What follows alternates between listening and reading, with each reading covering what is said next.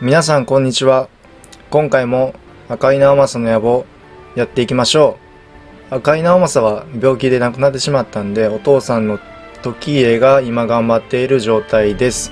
実はですねあの今ゲームを始める前にちょっと作業をしてたんですよね。内政とか外交とかしてたんですけど録画してないところでイベントがちょっと起きてしまったんでそれをちょっと確認します。まず一つ目にお父さんの赤い時家が、えー、征夷大将軍を自分で名乗りました。はい自分で名乗れるんですね。まあ多分あのー、城がある程度たくさん取れ取れた段階でこのイベントが出ると思います。でもう一つがですね実は上杉謙信が死んでしまったんですよね。上杉正虎上杉謙信が死亡しました。で死亡したことでですね、えー、養子が2人いたんですが、えー、兄弟で仲違いしてしまったんですよね。それを織立の乱というんですがこちらがあ上杉景虎の方ですね、えー、こちらが上杉景勝ですね。えー、大河ドラマ「真田丸」では遠藤さん俳優さんが演じていらっしゃったんですがまああの兄弟分裂したんでこの隙に上杉が混乱している間に上杉領に侵攻しようと思ったんですが、えー、外交状況を見てみましょう。上杉家残り11ヶ月。実はですね上杉家分裂してもえー、同盟関係が上杉海勝の方とつながったままなんですよね。なんで攻めれない。なんてこった。上杉謙信が亡くなったことで起きた兄弟の中の内紛を利用して攻め入るっていうことができないっていうそういう無粋なことをするなっていうゲーム制作者側からの圧力だと思うんですけどね。でですね次はどこを攻めようかということなんですけど大友家と講和をしたんですが大友家との講和期間があと残り1ヶ月で切れるので、えー、あともう1ヶ月待って再び大友領に侵攻したいと思います。その時はですねここに大きな勢力毛利家がいるんで毛利家の援軍を借りながら攻めたいと思います。毘沙門天そして謙信公よ我が戦どうかご覧ご承覧くだされ。おっと兄弟で戦いますね。上杉家あこれが上杉景勝こちらの方ですね。こちらの方に援軍を送りますということですね。しょうがないな。助立ちいたす。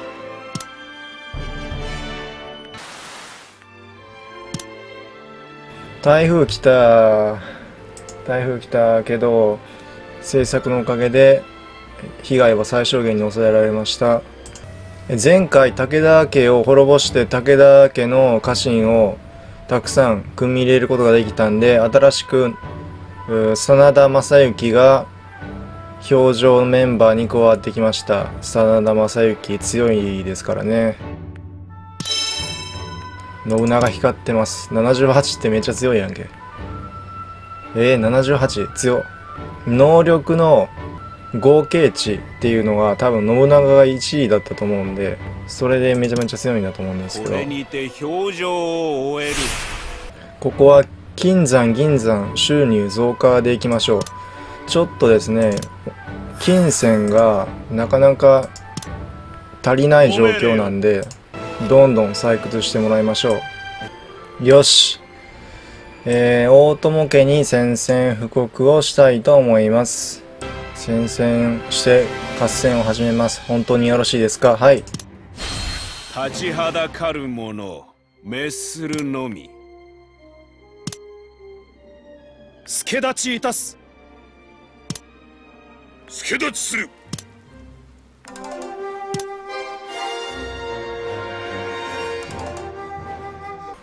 毛利家に援軍を出してもらいましょう毛利勢は吉川元春隊に任せましょう北九州の方から小倉城から攻めてもらいましょう。4万4400対4500出陣する。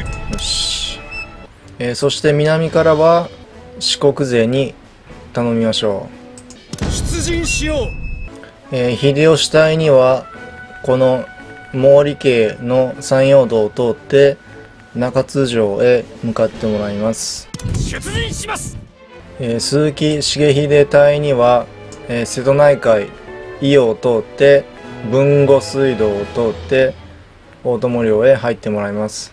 出陣する。こんだけ出せば余裕でしょう。おっと立花同説とぶつかりました。やばいな。相手3万8000どうでしょう。負けてるしまあ毛利の兵なんでいいんですけどね捨て駒よ。我らに歯向かうとお勝った。相手の方が多かったんですけどね。こっちが勝ちました。臼杵城に到着です。6日で落とします。悪い電光石火。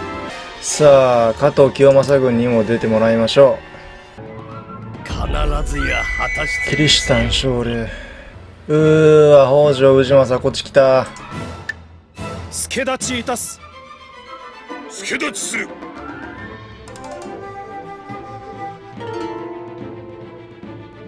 マジか。伊達伊達家も北条についたか。敵が我が領内に向かっております。上杉家に援軍頼みましょう。上杉家には、えー、神津家の国群馬県の沼田城に向かってもらいましょう。進むぞ。でこっちはなんとか耐える、えー、駿河の方は徳川家康に戦ってもらいましょう。進め！助立ちいたす。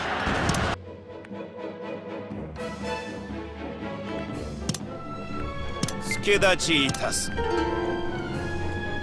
えー、秀吉隊が中津城に到着しました。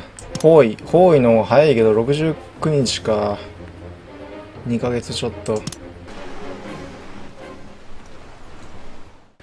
えー、っと加藤清正隊が熊本城に到着しました。強行で 2, 2ヶ月。えー九州攻めの方は、とりあえずえ立花同説が臼杵城に来てるんで鈴木重秀に、えー救援に行ってもらいます。あとはまあ大丈夫でしょう。で南から島津家が、えーこの隙を狙って大友家を攻め始めたんで島津家はやっぱり要領がいいですね。タイミングがいい。で東の方の戦線は、えーここで、えー真田正幸隊が迎え撃ちます。兵数足りるかな？ここの兵数上限って何ぼやろ？いざ参ろう！4万5千か。これきついな。前進せよ柴田勝家隊に救援に行ってもらいましょ進むぞ。う間に合うかな。こっちはこっちで9000足りひんやんけ。ああ1万3900ね。東は東でやばいな。我が覚悟。薩摩隼人の力を見せよう。薩摩魂。対名対名撃てるんか？対名撃てますねあこれ決戦時に援軍が参戦兵数が増加これええやんけ。ちょっとスピード落として進めましょう。あー城奪われた。まあしゃあない。勝てるかな？真田正幸勝ってくれ。あやっぱ無理か。兵数の差あるもんな。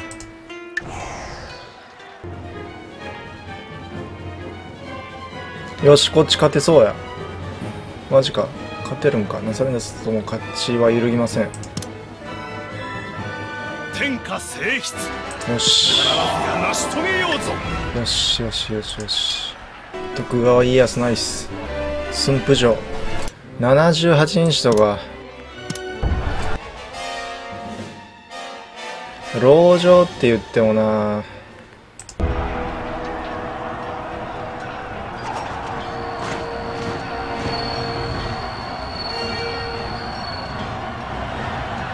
マジか北条家が上杉に勝ってる。やばいな。上杉が。援軍はまだか。援軍まだか。間に合わへん間に合わへん。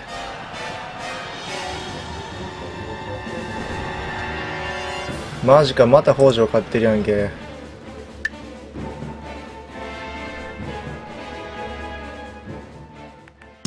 さらに混迷する戦乱の世。この戦乱の世を赤い時家はどう終わらせるのでしょうか。それでは次回もご期待ください。チャンネル登録よろしくお願いします。ではバイバイ。